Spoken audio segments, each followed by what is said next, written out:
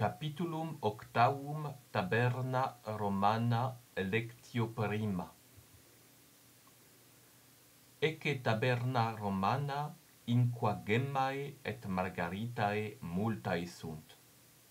Cuius est aec taberna? Albini est. Albinus hanc tabernam habet. Qui tabernam habet, tabernarius est. Albinus est tabernarius Romanus, qui gemmas et margaritas vendit. Ali tabernarii libros vendunt, ali mala et pira, ali rosas et lilia. Gemmae et margaritae sunt ornamenta. Annulus cum gemma ornamentum pulcrum est. Etiam linea cum margaritis ornamentum est. Linea sine margaritis non est ornamentum. Multae feminae quae in hac via ambulant ante tabernam albini consistunt nam feminae ornamentis delectantur.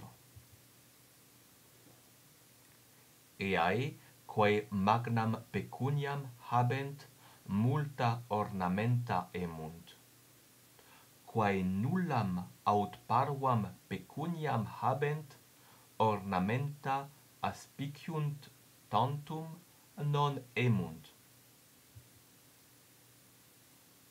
Etiam viri multi ad hanc tabernam adeunt, qui magnam pecuniam habent, ornamenta emunt, et feminis dant, ceteri rursus abeunt. Feminae, quarum viri magnam pecuniam habent, multa ornamenta a viris suis accipiunt.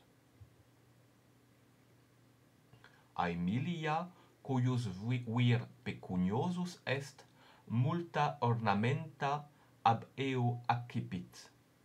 Aemilia annulum indigito et margaritas in collo multaque alia ornamenta habet. Annulus digitum Aemiliae ornat, Margaritae collum eius ornant. Feminae gemmis et margaritis annulisque ornantur. In via prope tabernam albini, vir et femina ambulant. Qui vir et quae femina? Est medus, qui cum Lydia amica sua ambulat. Medus est servus Julii, sed dominus eius Romae non est. Medus sine domino suo cum femina formosa inuis Romae ambulat. Lydia ornamentum purcrum incollo habet, quod ornamentum ornamentum quod Lydia habet est linea margaritarum collum Lydiae margaritis pulchris ornatur, Lydia autem nullum aliud ornamentum habet, quia pecuniosa non est, neque pecuniosus est amicus eius. Pecuniosus est qui magnam pecuniam habet.